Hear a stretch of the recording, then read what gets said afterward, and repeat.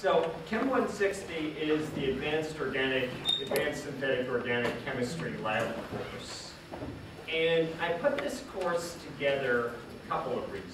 First of all, I love synthesizing molecules. This is fun. This is what turns a lot of people on to chemistry, to experimental chemistry, where you start to go into the lab. Organic chemistry is different than GChem. GChem is a lot of analyzing stuff. In the OChem lab, you do a lot of making stuff, a lot of synthesizing stuff. That's fun. And the big disappointment I had with the organic chemistry lab course, particularly at the Chem 51 level, at the big class level, was a lot of compromises get made in that class in terms of technique. And so one uses microscale stuff. You don't do stuff the way real chemists do. You don't do stuff the way your teams do in your research. And so we're going to do stuff with no compromises. And I tried to spare no equipment and no expense so that we can do things the way people will do to be ready to go into the research lab and also just to appreciate the virtuosity of synthetic organic chemistry.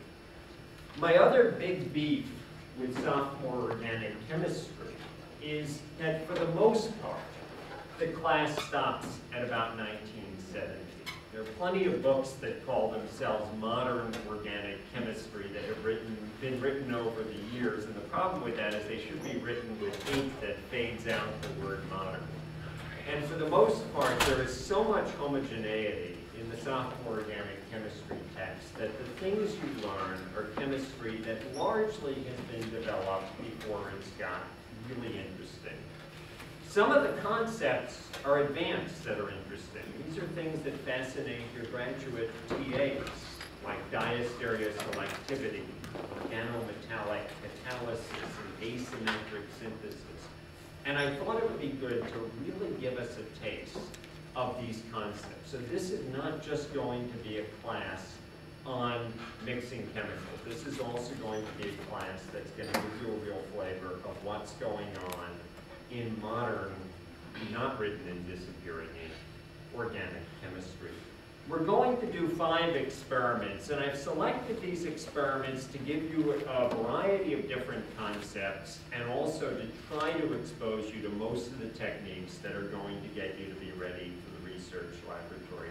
For undergraduates doing research in my lab, I consider 160 a prerequisite or a co-requisite for doing research because it gets you ready to be working in an organic lab in which you are working real synthesis of real compounds. In a way, this is as close as I can have to having you all as my undergraduate research students for one quarter. I can't provide everybody with a slot in my laboratory, but for one quarter through our hardworking TAs, we're going to have as close a situation as you can to be involved in. Now, of course, the big thing about research is you're delving off into the unknown, and that's one thing we're not going to be able to do here because for the most part, I want you to be able to cover some good ground. So all of the experiments we're going to be doing have been tested. You won't be breaking any new ground in terms of frontiers of the unknown, although our very last experiment, you'll be making, synthesizing compounds that are different from your neighbors. Let me tell you about the five experiments that we picked, then I'm going to go over the syllabus and mention a few points, and then we're going to uh, go on and spend a few minutes talking about the first, uh, the first experiment in some detail. The first experiment is the lithium enolate aldol reaction.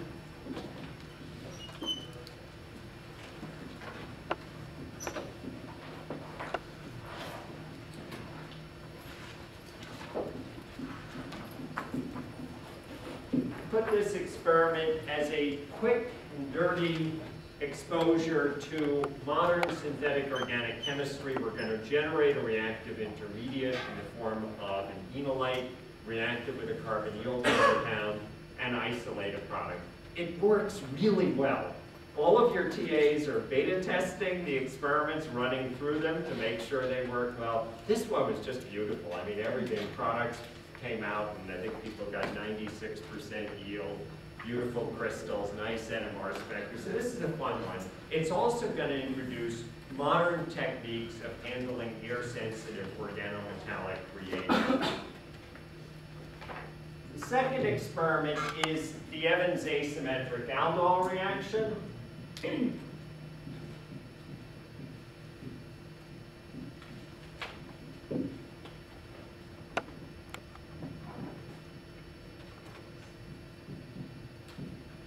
It's an aldol reaction, like the LDA enolate aldol reaction. It's an aldol reaction that's promoted by a Lewis acid. We're going to be using a boron enolate. Anyway, we'll, you'll get to see. But the real concept we're going to introduce in this one is the idea of asymmetric synthesis and diastereoselectivity. And we're going to get some modern concepts when we discuss this of transition states and specifically faces of carbonyl compounds and faces of enolates and how we control how they come together to set stereocenters. It's going to be really exciting, also intellectually challenging.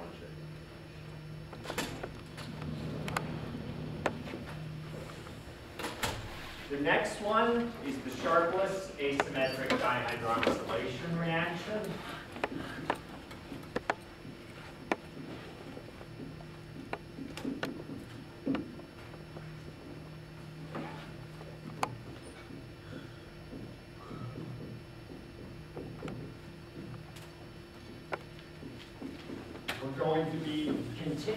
Concepts of asymmetric synthesis, but in a catalytic manifold.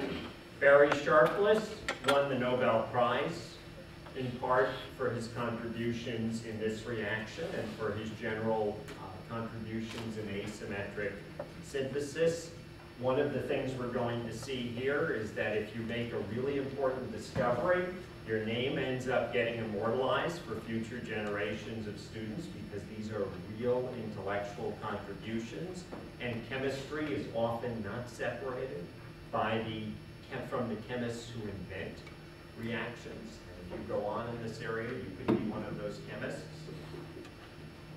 Sharpless asymmetric dihydroxylation reaction uses a metal, osmium, in the reaction, and we're going to continue on this notion of use of metals in synthesis and metal catalysis in the Suzuki cross-coupling reaction, which is going to be our fourth experiment.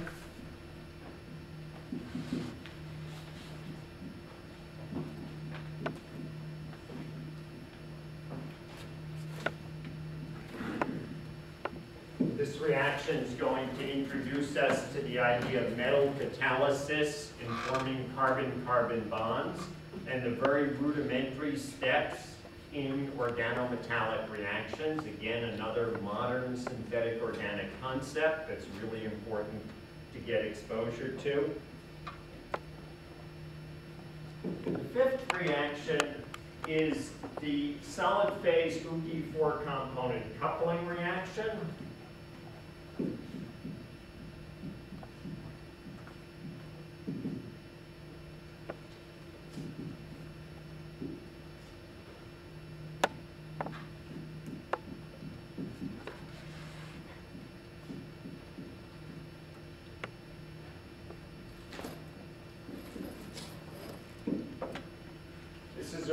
Reaction that's going to introduce us to the use of solid phase reagents in organic synthesis, to synthesis of compounds on a resin, and to concepts of combinatorial chemistry that are often used in drug discovery.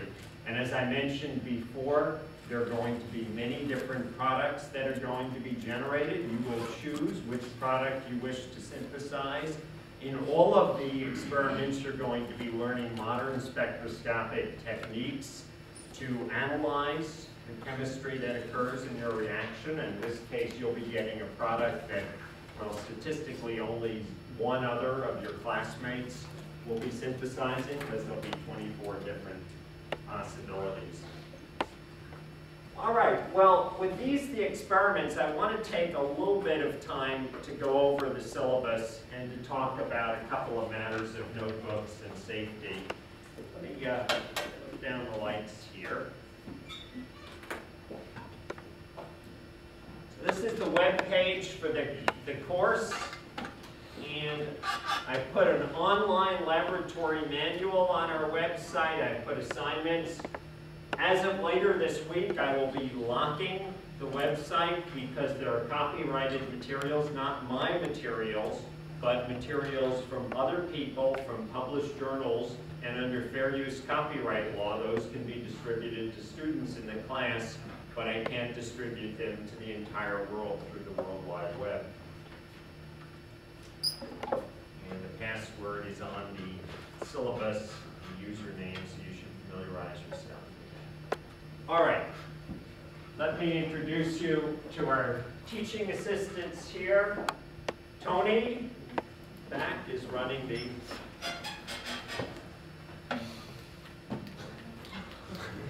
running the Monday section. I've already seen he's sent his section an email with some pre-lab assignments. Tim is going to be running the Tuesday section. We may have some rearrangements in terms of who's running the section, so watch, I'll be sending an email notice, but right now Johnny is on the Wednesday section, Dave is on the Thursday section, and Nick is on the Friday section. All right, I mentioned laboratory notebooks, and I already sent you an email in regard to, to the laboratory notebooks. The laboratory notebook, the main thing I want is that you go ahead and have a laboratory notebook that is not a duplicate notebook. The duplicate notebooks are just too hard on the eyes of the TAs. You'll need to hand in real photocopies of your notebook. I'm less concerned with the specifics of the notebook. Last year, I know the bookstore had a Roaring Spring notebook that was particularly well. They have it right now? Great, let me see if this is the same as last year. This is, this is fine, a Mead composition book or the equivalent is fine. It'll be useful to put page numbers on the corners of your pages because we're going to code our sample numbers to and our experiment numbers to the pages. So just go ahead, whatever sort of notebook you use, go ahead and just write numbers one through whatever, 100 in the upper right hand corners of the pages. All right, we're going to be learning a lot of techniques, and the textbook I chose for the course, Advanced uh, Practical Organic Chemistry, really is closest to the techniques that are used by modern synthetic chemists in the laboratory. It's got great illustrations, great explanations of distillation and the like. If you were going on in chemistry, please keep this book. Try not to sell it because this is something that's really a valuable part of your personal library. But it will give you very nice and detailed instructions about handling air-sensitive reagents, about doing distillations, and various other, other things that are of value. For that reason, we do have reading assignments from the textbook. I've tried to pair them with the laboratory experiments I'm front loading our reading assignments because there's a lot to learn, so bear with me for the next couple of weeks. It will tail down a little bit. Then as things go along, your responsibilities in writing lab reports, lab write-ups is going to increase. The actual experiments, most of them are taken from the primary literature, and they're in our online laboratory manual. The online laboratory manual is basically a set of chapters that I've put together, an introductory chapter and then one chapter per experiment. I'm making a few revisions from the previous years, so I'll be revising chapters four, five, and six. The main revisions that are occurring is we're going to be giving you a little bit more access to NMR data, to nuclear magnetic resonance data on your own compounds. And so I'll be asking you to be putting in a little bit more on that. You're also going to be learning how to work up NMR data, and with any luck, getting to go down to the NMR spectrometer with your TAs in order to actually run some of your own spectra. We'll also be getting on to mass spectrometry at the end of the course, and you'll be getting into the mass spec lab. So you'll be working with, oh, about $500,000 worth of cutting-edge scientific equipment in your experiments.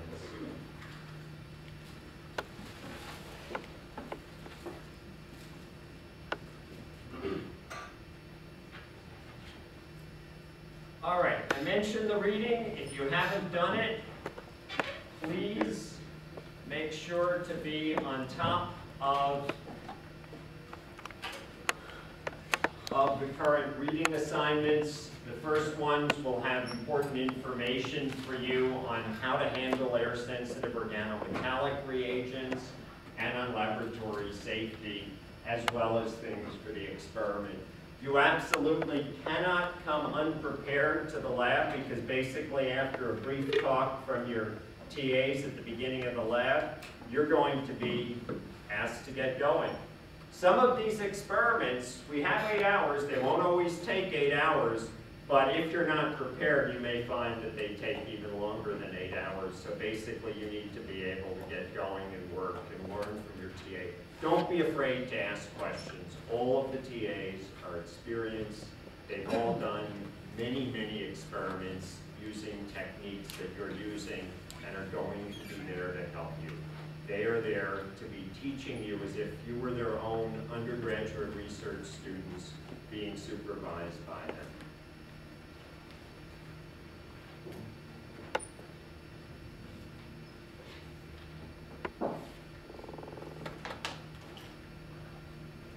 There are a couple of times you're going to be coming into the laboratory on your own, some experiments where you set them up one day and maybe it's quick and then you come back on another day and you'll need to contact the TA or if something goes wrong, you'll need to contact the TA to ask, may I come in on this other day?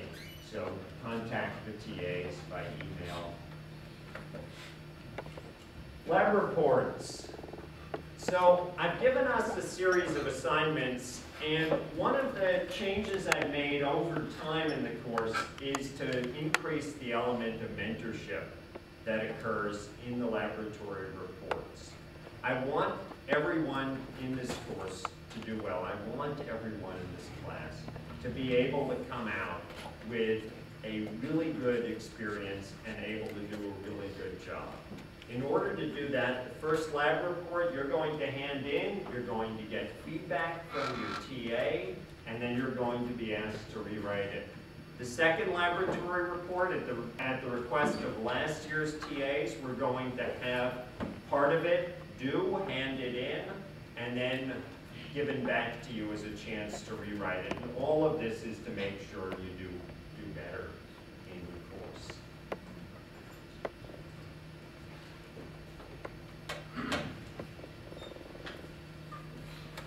One of, one of the things that disappointed me with a, a research student, a student who came to me to do research in my lab, I, I said, oh, I see you're, you're taking, I think it was 51C this quarter, you just took 51C.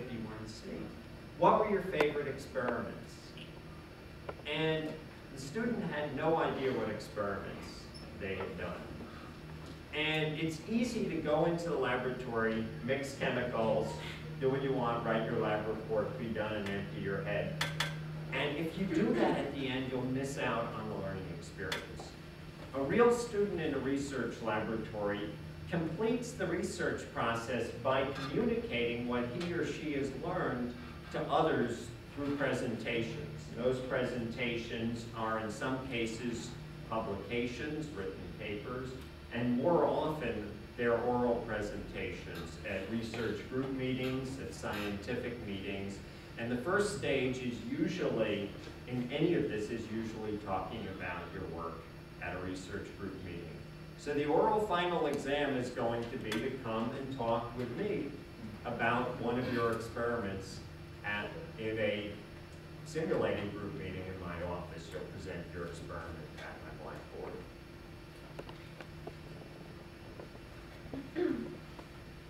So I've tried to balance all aspects of the course in terms of what's important for a real practicing organic chemist. A big part of the course is, a big part of what's important is being on top of things in laboratory. And the person who's going to know the best is your teaching assistant. Are you prepared? Are you somebody they would like to work with? And my hope is that everybody, everybody in this class is going to come away being the sort of person who the TA would like very much to have as his or her own student. That's what I'm seeking, and that's the impression you should make on your TA. So come prepared, know what you're doing, don't be afraid to ask questions when you don't know, and figure out, work with your TA to learn. This is a huge learning process. You're going to be learning new techniques, new chemicals, new concepts, and new ways of interpreting data. And so work with your TA on that. Your lab reports are going to count, as will your laboratory notebook. And the laboratory notebook is incredibly important in being able to understand and reproduce what you've done. I've given a sample of a notebook, and I'll ask you to follow that, and I'll just go over it very briefly. And finally, a final exam. Academic honesty, by now, I think everyone should know that plagiarism is wrong. That includes copying research results. It includes describing things from sources without properly citing those sources, whether you're citing them in direct quotations or in paraphrasal. If you need to remind yourself of the uh, UCI's academic honesty policy, we, uh, I have a link here, and you should, you should read this over.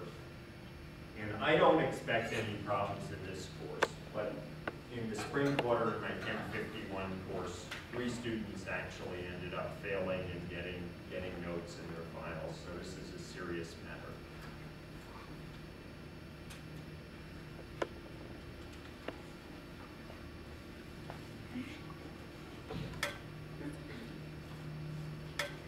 All right. I want to talk very briefly about about safety. And we are going to be working with some really dangerous chemicals in the laboratory. We're going to start our first lab working with a chemical that's pyrophoric. That means it catches fire if it hits air. A graduate student at UCLA recently died in a fire resulting from working with a chemical very similar to this one. The death occurred because of dangerous syringe technique and because of clothing that was exposed and caught fire, and the person got third degree burns and tragically died. Everyone in this lab can work safely but it means actually learning safety procedures, learning proper syringe techniques. The biggest danger is not death or dismemberment. Well, not death. The biggest danger is to your eyes. Of all the things that can likely happen to a person in the research laboratory, a small explosion or a spatter can cost you your vision. Eye protection needs to be worn at all times. My gut feeling on eye protection is the best eye protection is eye protection that's worn 100% of the time. For the students in my research laboratory, that means I'm happy even if they're just wearing regular glasses because at least regular glasses are something between you and what's ever in front of you, and it's 100% of the time. Glasses with side shields, I think, are considered the official minimum for this course. In other words, the sort of safety glasses. Goggles are probably overkill for an eight-hour lab, although you're certainly, certainly are, are permitted to wear them. In addition to that, some type of apron or laboratory coat is a good idea. No shorts is considered the rules, meaning so you don't spill things on your leg. No open-toed sandals. At a gut level, I worry less about those. And again, it's because if you drop something heavy on your foot and break a toe or even lose a toe, it's not tragic. If you go blind, it's tragic. Professor Sharpless lost an eye in a freak accident. It wasn't even his, quote, fault. A student sealed an NMR tube on a vacuum line and brought it to show him as he was going home in the hallway.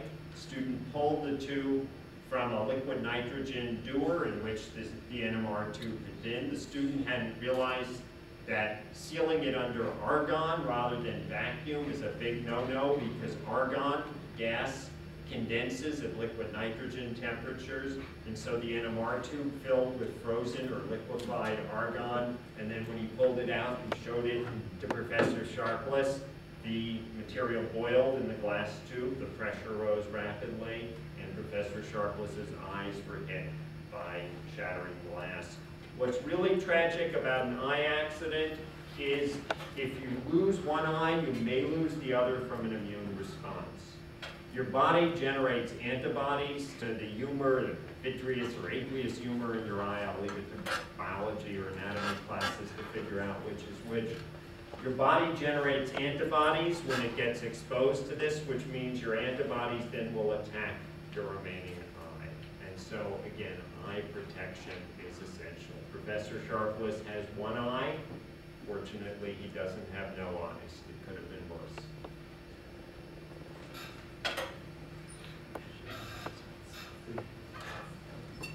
As I said, the readings for handling of butyllithium and the like have good description of safety, and as I said, it's really important because these are pyrophoric. All right, the other thing I want to talk briefly about is the laboratory notebook. I'll leave it to you to read in detail the handout on this, but basically, I made a, a mock-up of a laboratory notebook page, which I use for students in my own research lab. The only thing that's different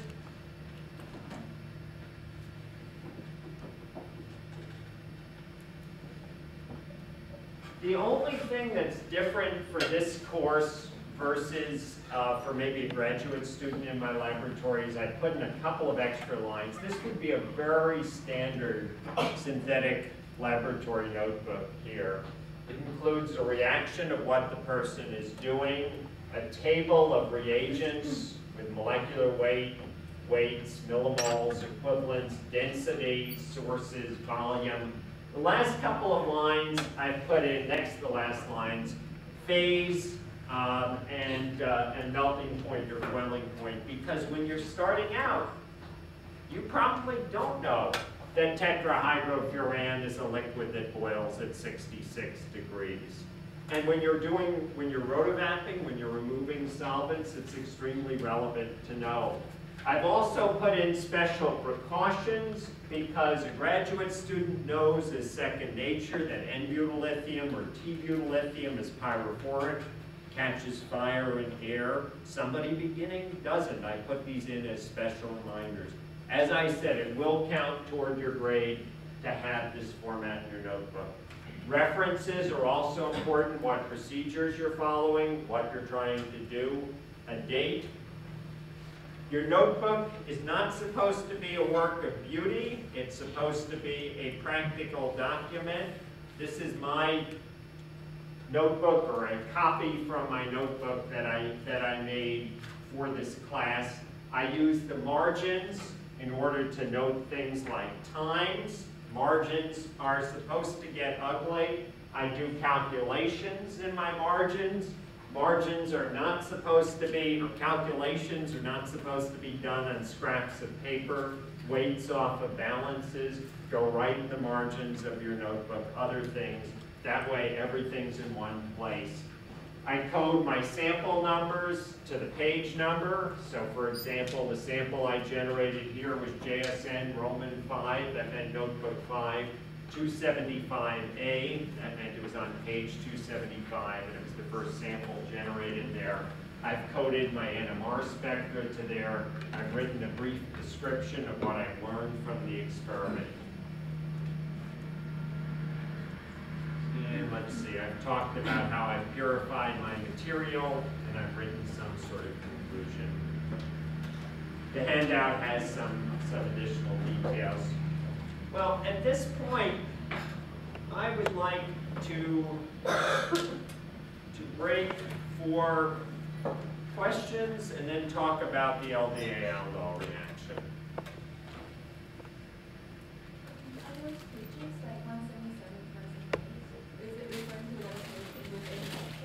Uh, that was in my that was in my notebook. So yeah, I was saying um, in this case I was saying better, I got a better yield than when I used Kugelrohr distillation alone on pages 177 to 178 of that very notebook. Yeah, this was on page 275, so I had done this experiment several weeks earlier, and I believe my objective here was to scale up, to go from a small scale to a bigger scale, and I took what I had learned several weeks before from the purification from my crude NMR data and the like, and I said, here's how I'm now going to incorporate that to make my chemistry book. Other questions? Is there a photocopier provided for us, or? No. the, the library has photocopiers. You can use a scanner. It doesn't have to be a photocopier. The main thing is it's got to be something that's legible. And because you're going to be using the notebook the next week, I can't simply have you hand in your notebook with your reports. So photocopier um, from the library work, a scanner on your computer to print out from there would work. And it should only be a couple of pages. And hey, if you buy the uh, 158 mead, one buck 58 cent mead composition book, you can end up saving saving so much money that even the photocopies don't cost very much. So we'll have to include like figures, uh, blood sugars. Um, Absolutely. Um, TLC, not large figures, but TLC plates I grew as I went along. Sometimes I've, when I've had access to a photocopier, I've sometimes photocopied my TLC plates and just taped the photocopies. You can't really tape your TLC plates in your notebook, certainly not with uh, glass plates, which, which are better for. Um, apparatus, if you're just using standard apparatus, here I gave a verbal description of the apparatus. There's no need to draw the apparatus. If it's something non-standard or if it's new to you, you're welcome to draw it, but it certainly isn't, isn't required. The goal of your notebook is to be a good description of what you've done so that other people can reproduce it.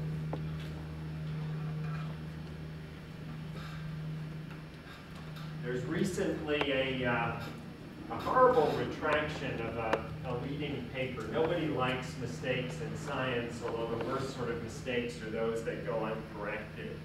This person who's somebody who's hoping to win the Nobel Prize, I don't think he will, uh, retracted the paper saying, well, we couldn't find the, we couldn't reproduce it, we couldn't find the laboratory notebooks to reproduce it. That's, that's pretty lame. But suffice it to say, laboratory notebooks are the first step in making science reproducible. And without being reproducible and testable, it's not science, it's magic. All right, well, the first reaction, there is magic in the laboratory.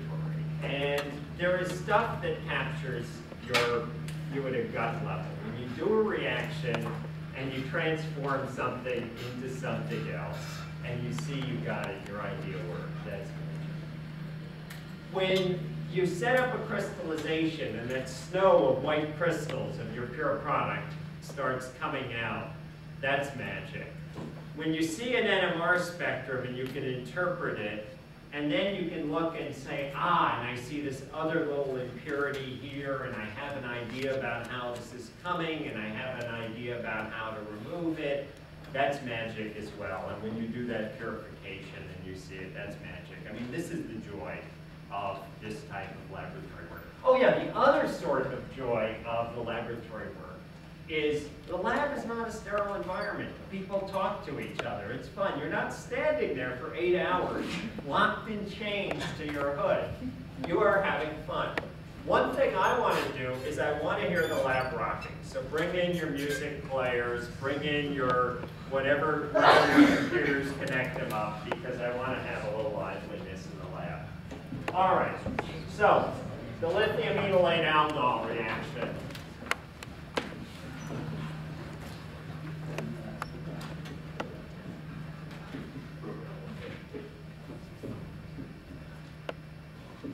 we're going to go through a bunch of very standard operations to generate a reactive intermediate, enolate, to allow it to react with a carbonyl compound to generate the aldolate product to quench the aldolate product and then to isolate the material. Let me show you what I'm talking about. It's a very general and powerful reaction. You have some sort of, and I'm going to start by writing it generically. You have some sort of carbonyl compound. That carbonyl compound can be an ester, a ketone, generally not an aldehyde. They have, uh, they tend to self-condense. An amide, but let's just say an ester, ketone, etc. We're going to treat it with LDA. I'll draw out LDA in a moment. THF is very often used as a solvent for this reaction, but not always. We are going to generate an enolate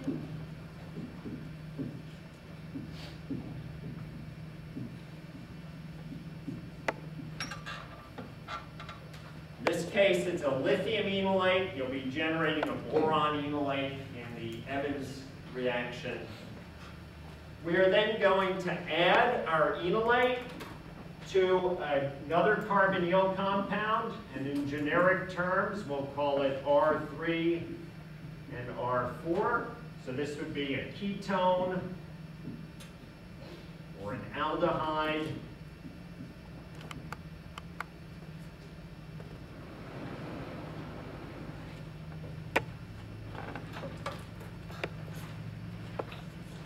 The result of that reaction is we're going to get a product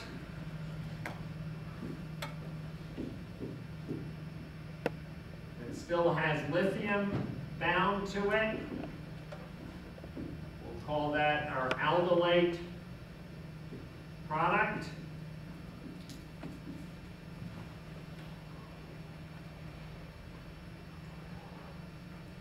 We're then going to carry out a workup. We're going to write, write our workup as occurring with acid H3O+. plus. You can't go to the stock room and get a bottle of H3O+. plus. There's no such thing as isolated H3O+. plus. And in fact, in this case, we're going to be using ammonium chloride as our source of acid. If you, you could also use, say, aqueous HCl, which would be H3O plus and Cl minus, but you can never just get a bottle of a cation or a bottle of an anion. You'll notice there's a lot of shorthand here. We're writing reagents very briefly. This would be pretty typical of what you'd see in a synthetic lab. And finally, our product, we're going to be quenching our aldolate, and our product going to be our aldol product.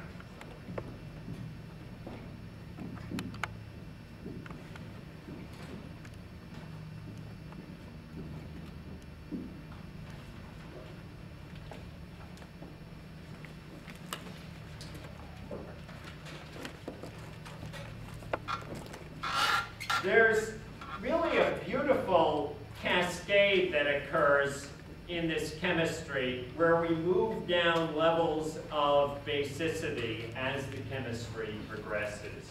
Let me show you what I mean. In general, something that's more basic is more nucleophilic or more generally more reactive. We're going to be starting with butyl lithium as a base in this chemistry Butyl lithium is a very, very strong base. One of the measures of basicity is the pKa of the conjugate acid. The pK of the conjugate acid of butyl lithium is 50. We're going to be moving all the way down through a series, through a cascade, which I'll show you in a moment. I promised I'd write out the structure of LDA. LDA is lithium diisopropyl amide. It also is a very strong base, not as strong as butyl lithium.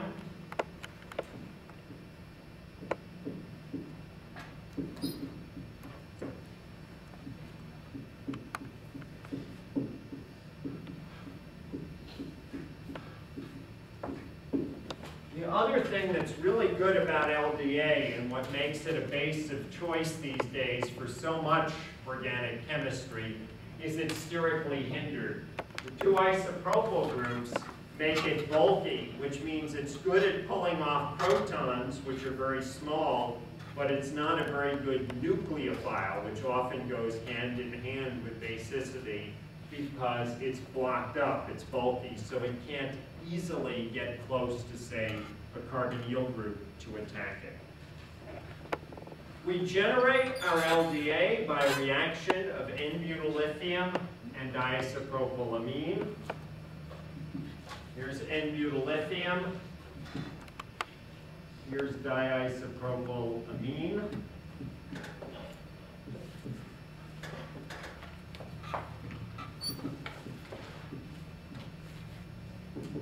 Butane is the other product of reaction.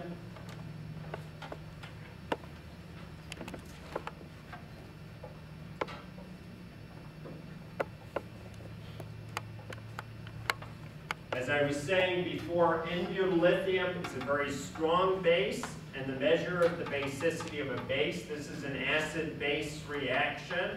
You could call it equilibrium, but it's an equilibrium that lies so far to the right, about 10 to the 10th to the right, the equilibrium constant about 10 to the 10th, that I'll just write it as a single arrow. The measure of the basicity of our butyl lithium is the pKa of the conjugate acid. The pKa of butane is about 50.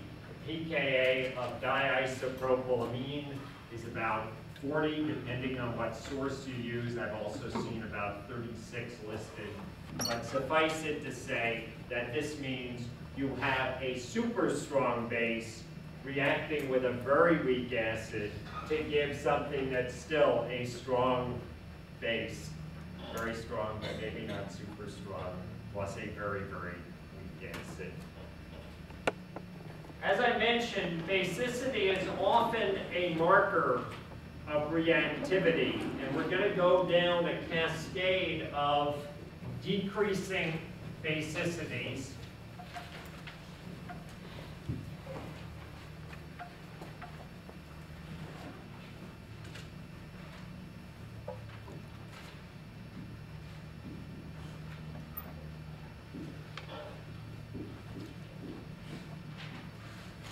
So we have an ester in this case, and we're going to allow it to react with our lithium diisopropylamide. This gives rise to our enolate.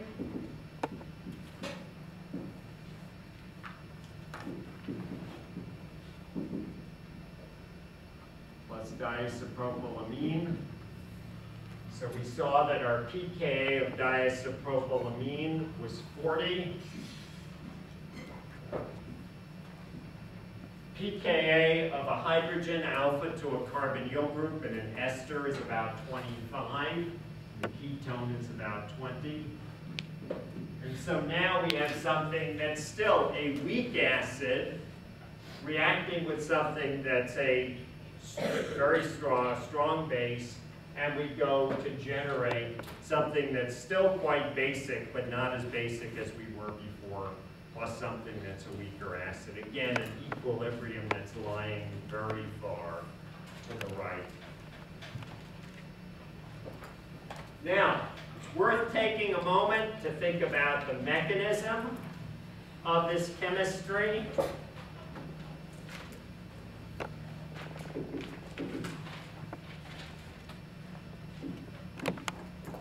Here's our diisopropylamine.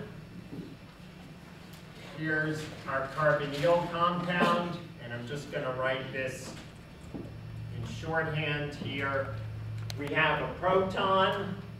We're going to pull off that proton. I think I'll write in a couple of lines here without filling in everything.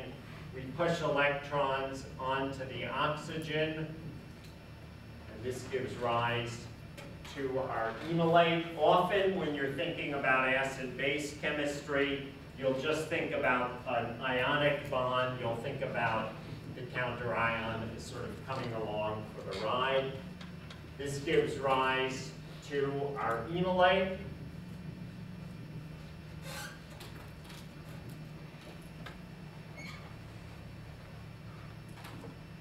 and Diisopropylamine.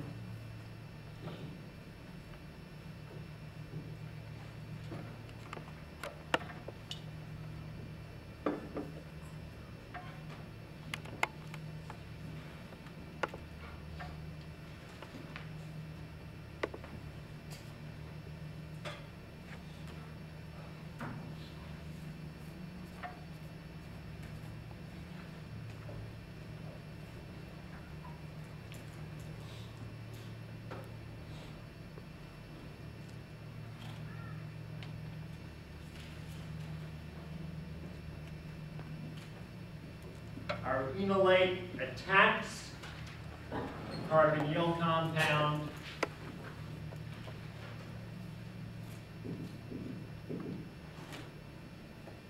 Enolate acts like a nucleophile. Our carbonyl compound acts as an electrophile. So here, without all of the fanfare of our R groups, I've drawn in our carbonyl compound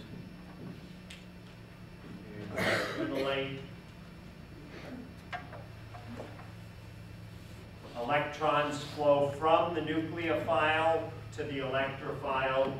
We can think of this as the oxygen pushes down to give us a carbon-oxygen double bond.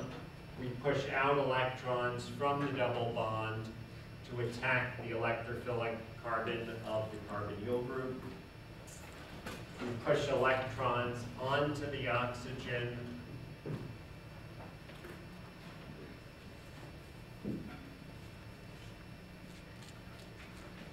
This gives rise to our aldolate.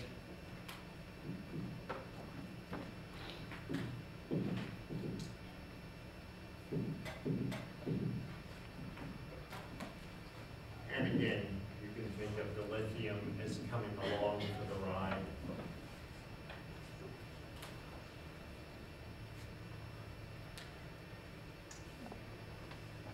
Another way to think about this, you can write a resonance structure in which we have our negative charge and a lone pair on this carbon, and we have a double bond to the oxygen.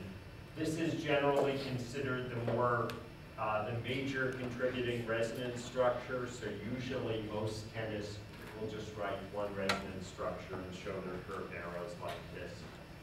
Final step of the reaction involves the reaction of our aldolate with ammonium chloride.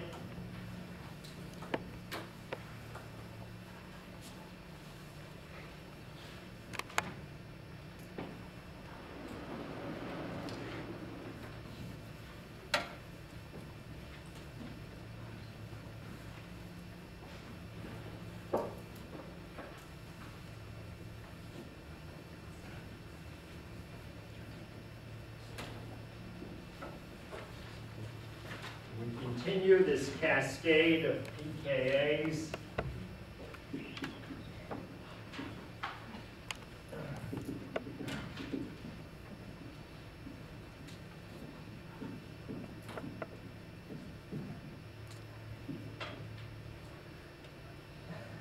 So our aldolate, once we quench our aldolate, we add ammonium chloride.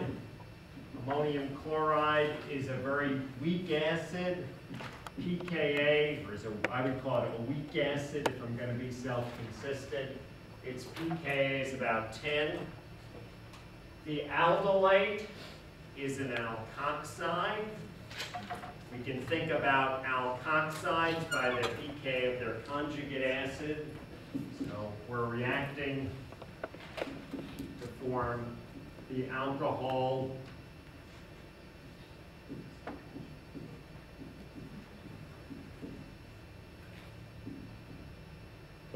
plus ammonia.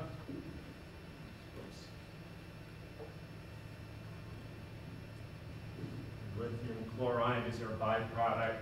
And you can think about the pK of an alcohol as about 17.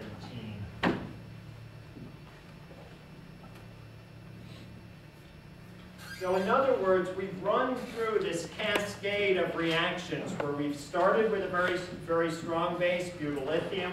We've generated a slightly weaker base, but still a very strong base LDA. We've used that to generate an out, to generate an enolate from P something with a pK of about 25. We formed an alkoxide, pK of the conjugate acid 17. And finally, we quenched with ammonium chloride, pKa of 10. All right, what is the actual reaction we are doing? The actual reaction we're doing is our carbonyl compound is going to be tert-butyl acetate. Tert-butyl acetate is going to be treated with LDA, THF. You would probably see this written like this. You might even see the THF omitted. This means lithium diisopropyl amide solution in tetrahydrofuran as solvent. We're going to generate the enolate. Then we're going to add that to benzophenone. Benzophenone is just two phenyl groups. It's diphenyl ketone. And finally, our workup is going to be with aqueous ammonium chloride, NH4Cl. And the product of our reaction, our aldol product, and I'm going to draw this, I'm actually going to draw this with the shorthand that you're going to see, see most people write this in the laboratory. So that's the way most people write a tert-butyl group. This is what a tert-butyl group is.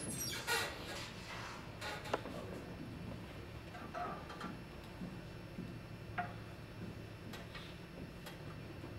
this is our aldol product. And it's a really beautiful crystalline compound. So all of that will occur in one laboratory session this week. All right, I will see you next Monday, although I will probably pop through some of the labs to say hi.